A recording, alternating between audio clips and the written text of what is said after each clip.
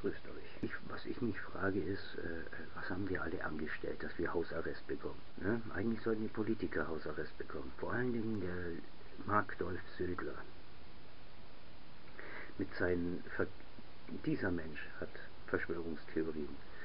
Ich meine, wenn er schon anfängt, von einer Corona-RAF zu sprechen oder äh, den Virus mit der Pest zu vergleichen, also da hakt es doch ein bisschen aus. Äh, und jetzt, jetzt fängt er an mit der Impfpflicht. Ja, war ja klar, dass es früher oder später kommt. Ist ja nicht so, als hätte ich das schon die ganze Zeit geahnt.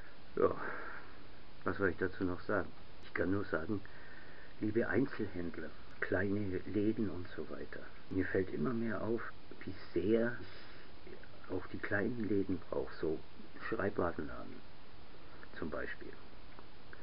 Ja, wenn du mal ganz schnell was brauchst, dann kannst du es nicht bestellen. Das kommt nicht in, in so gehe ich einfach schnell in die, in die Stadt, gehe in den Laden und kaufe mir was. Ne? Ja, so musst du halt immer mindestens drei Tage warten, bis das Zeug dann da ist und dann, naja, aber die Agenda funktioniert, die Agenda läuft. Es gibt eine Verschwörung, und zwar von den Politikern gegen uns, gegen das normale Volk, gegen die, die zahlen, gegen die, die...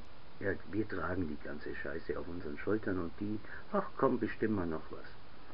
Die Eltern werden allein gelassen, die Pflegekräfte werden allein gelassen, die Einzelhändler werden allein gelassen, große Firmen kriegen Geld in den Arsch geblasen bis zum Umfallen und alle anderen sind schuld. Das war's von mir bis hier.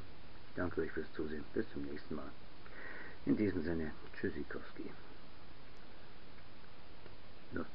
Ja, genau.